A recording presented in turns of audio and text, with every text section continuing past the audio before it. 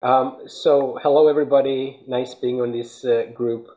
Um, I am um, a life and data scientist working for a pharmaceutical company. And for a minute, I wanted to sort of forget everything you know about Jenkins and actually remember everything about Jenkins. Uh, but what we're talking about um, is actually uh, outside the standard DevOps operations. And oh, like, is it possible for me to share slides or can you? Yeah, you can just uh, share your screen. Okay. Uh, you should be able to do that. If not, I will uh, fix it, but you should have permission. So there's a share screen uh, green button uh, on your control panel. Is it? Yep.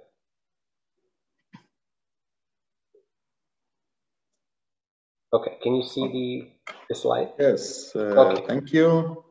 Good. So I, I put these slides together just uh, so that you have a frame of reference later on if you want to go back and uh, you know uh, refresh your mind on some of these things that may be a little bit out of the um, standard realm of, of what we're doing with with Jenkins.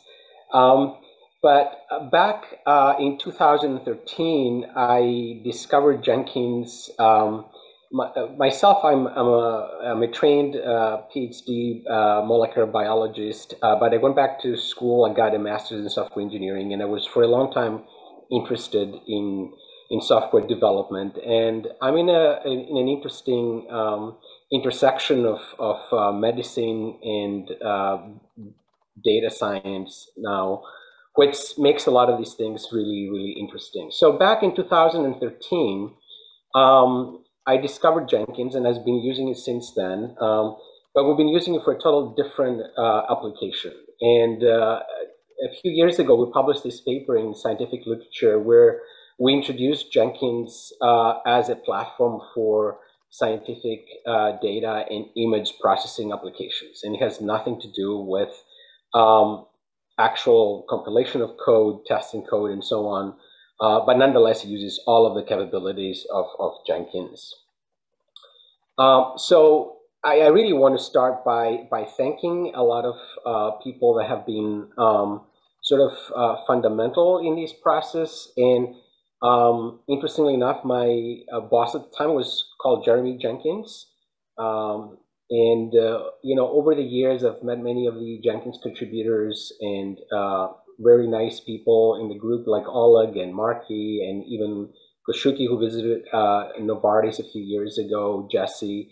Um, importantly, my colleague uh, who is now um, in uh, New Zealand, Bruno Kinoshita, who developed some of the uh, key plugins uh, for these and uh, participants in the GSOC 2020 last year where we developed a machine learning plugin for um, for Jenkins.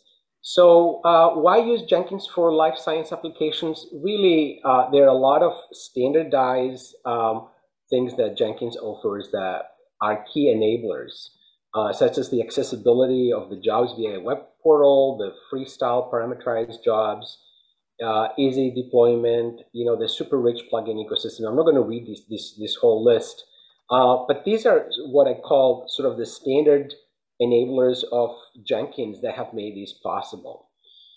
And the benefits that this offers is that um, life and data science pipelining um, really requires integration of a lot of different utilities, applications, custom script tools, and Jenkins is able to do all of that. Um, finally, we have developed this concept of one-page web apps on a shoestring um, people can go to a Jenkins job interface and, and um, be able to execute an entire um, data analysis or data ingestion and, and processing and parsing uh, in a very reproducible um, way that leaves a really good what we call data provenance path, where we can always determine where the data came from. And finally, through this similar uh, web portal, we're able to, to share this data with others and, and, and, and collaborate. Um, nonetheless, uh, you know, there is a kind of an impedance mismatch between develop, um, and operations and, and, science. And just always as a kind of uh, funny point, I bring this, this word artifact that we're using in Jenkins. And of course, artifact is used with the idea of something that Jenkins creates. But for science, this is really a spurious observation and a bad thing, um, something that you do not want. So, you know, just that, a, really kind of simple um, example of, of, nomenclature where things are, are different. But let's look at uh, specifically at pipelines, jobs, and, and builds. Uh, for developers, we check out of code from the SCM. The pipelines are more consistent and continuous. The jobs require very few parameters. The builds are almost always deleted, and the artifacts are automatically tested. Um, on the scientific side, though, they uh, there's nothing such as the concept of an SCM for for data and um, instruments. The files are all over the place, uh, whether it's on, on a particular instrument, on a local or network drive. The pipelines are really discontinuous. It consists of an ad hoc mix of the Jenkins jobs. Um, different tasks are encapsulated in separate jobs that need to provide input and output to each other. The builds are almost never deleted because this is really primary data that you're generating. It's not a kind of a, you're not superseding old data uh, or old uh, jars or old builds.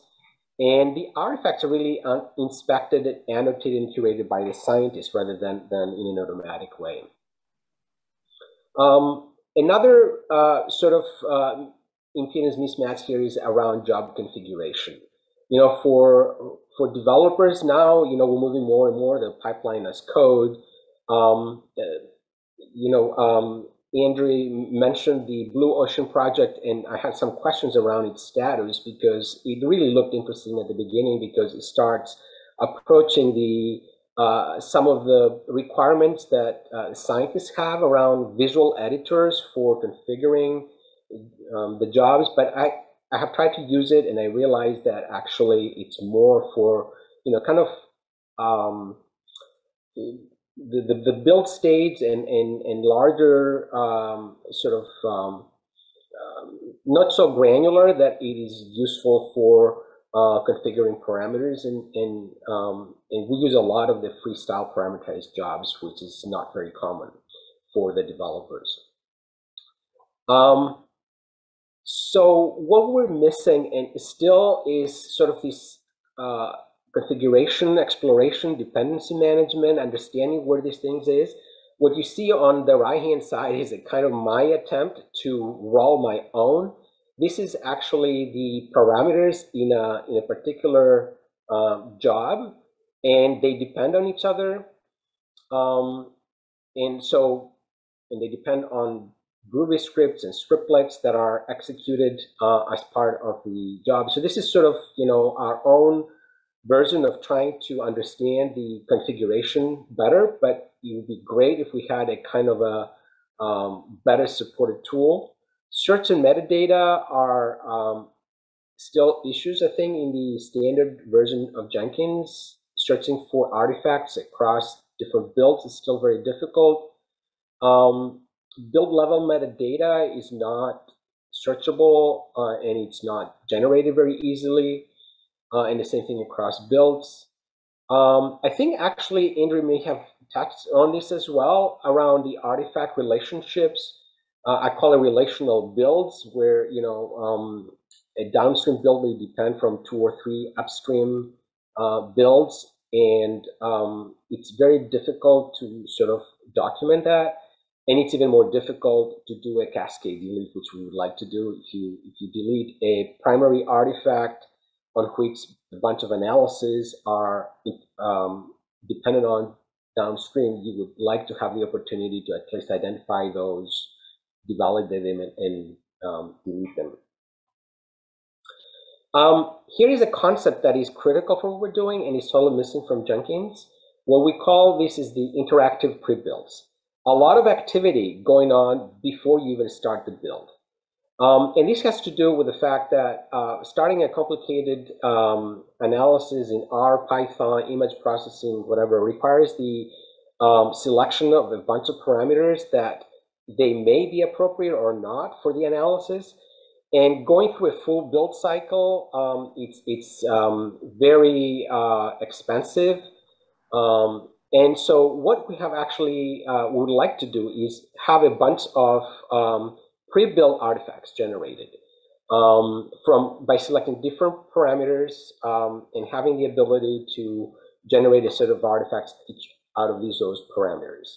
And then all the build does these are some examples of the kind of uh, artifacts we're talking about. We're talking about um, images. We're talking about uh, scientific, uh, you know, um, analysis and, that you visualize through graphs and uh, even you know data tables and, and so on. And uh, all the build does at the end is archives and reports these pre-built artifacts. Uh, so for example, here you can see uh, there is a report with uh, six different pre-built artifacts uh, that have, are using different algorithms and different um, parameters to generate. And, um, you know, we have managed, and this is the amazing thing about Jenkins that still sort of, uh, it, it's one of the greatest joys to work with it because, you know, you can you can get it to do a lot of different things, right? Even even these uh, uh, pre-builds that I think the concept is missing from it. Now, um, something that uh, may not go well um, with a lot of people is please don't let security eat the function.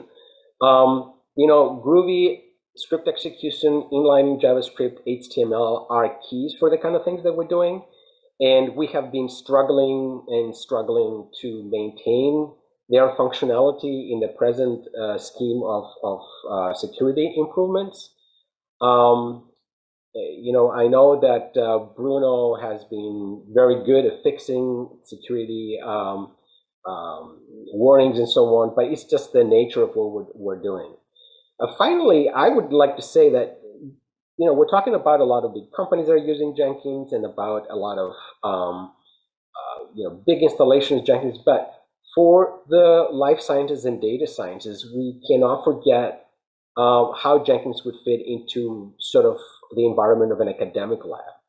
Um, where you know there is uh, an academic lab doing some research, they need to, to deal with their data and their uh, laboratory instruments, and they do have one developer there um, it would be great if that developer can apply some of these these uh, uh, kind of uh, uh jobs that we have, are developing for um, life science integration and data science um, in a rather easy way.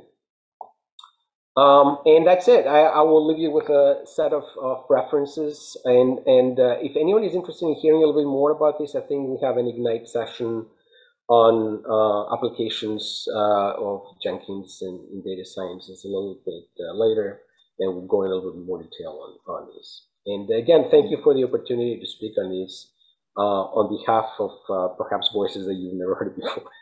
so thank yeah. you, Oleg, for inviting me. Yeah, and thanks a lot for your feedback. Uh, if you want to do an extended session, yeah, Jenkins Online Meetup always welcomes you. And yeah there is a lot of good points uh, definitely it was uh, discussing like i especially appreciate the point about security and yeah things like Blue Ocean. Yeah we discussed them a lot at the previous summits and i think that it's a really valid point uh, from an user standpoint uh, who actually want to keep jenkins as a framework uh, for use cases like bioinformatics or whatever where you still don't get like inside of the box, but you want to use the power of Jenkins as an automation engine.